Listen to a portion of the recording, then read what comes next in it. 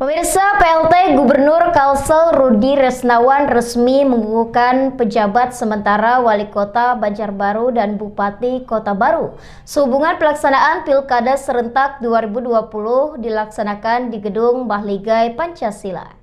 Guna memenuhi ketentuan peraturan yang berlaku, pelaksana tugas Gubernur Kalimantan Selatan, Rudi Resnawan, secara resmi mengukuhkan dua pejabat daerah, PJS Wali Kota Banjarbaru dan Bupati Kota Baru, di Gedung Mahligai Pancasila, Sabtu 26 September 2020.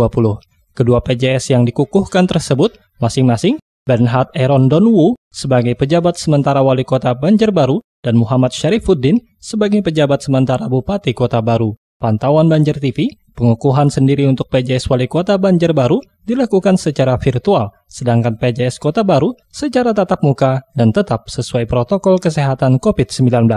Untuk diketahui, Bernhard yang saat ini mengisi posisi pejabat sementara Wali Kota Banjarbaru merupakan Direktur Polisi Pamong Praja dan Perlindungan Masyarakat Ditjen Bina Administrasi Kementerian Dalam Negeri.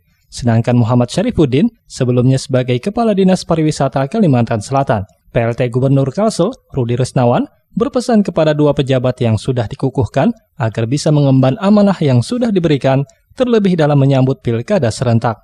Tugas seorang PJS adalah tentunya selama kurang lebih dua bulan lebih, kurang lebih kurang dua bulan lebih, ini memastikan bahwa yang pertama menjaga kondisi keamanan, ketertiban, ya, daerah masing-masing tetap stabil sebagaimana uh, yang kita inginkan.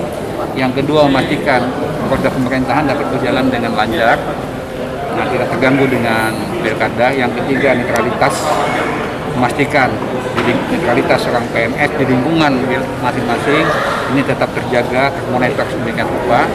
Dan yang keempat memastikan bahwa pelaksanaan pilkada di daerah masing-masing ini dapat berjalan sesuai dengan yang diharapkan. Dengan pengukuhan tersebut, di Kalimantan Selatan tidak terdapat kekosongan jabatan kepala daerah saat pelaksanaan Pilkada 2020. Muhail Banjar TV